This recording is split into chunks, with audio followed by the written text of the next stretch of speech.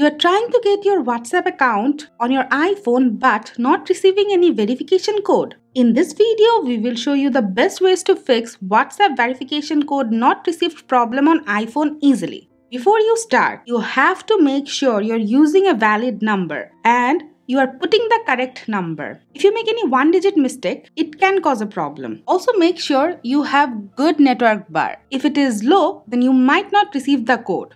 First, you need to make sure you have a good internet connection. If it is slow or you don't have any internet connection, it can cause a problem. To fix it, you can turn on the airplane mode, wait a few seconds, then turn it off. Also, if you're using Wi-Fi, switch to cellular data and vice versa. But keep in mind not to use both Wi-Fi and cellular data at the same time. It can cause some problem.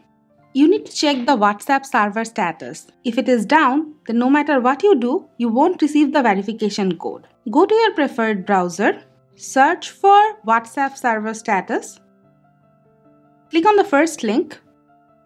Now check the graph. If it is very high, that means there is a problem with the WhatsApp server on your area you have to wait for them to fix the issue.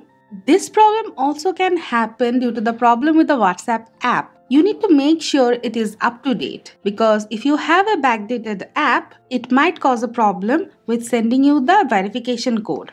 Now, if you don't have a pending update but still you are not receiving the verification code, then there might be too much cache and cookies stored on the app. You can offload the app to fix it. Open settings, go to general, Tap iPhone storage, select WhatsApp, tap offload app, again tap offload app. Now reinstall the app and it can fix your problem. If you have tried once or twice to get the SMS but you are not receiving the code, in that case, tap on didn't receive a verification code and rather than sending the code via SMS, try using the call option.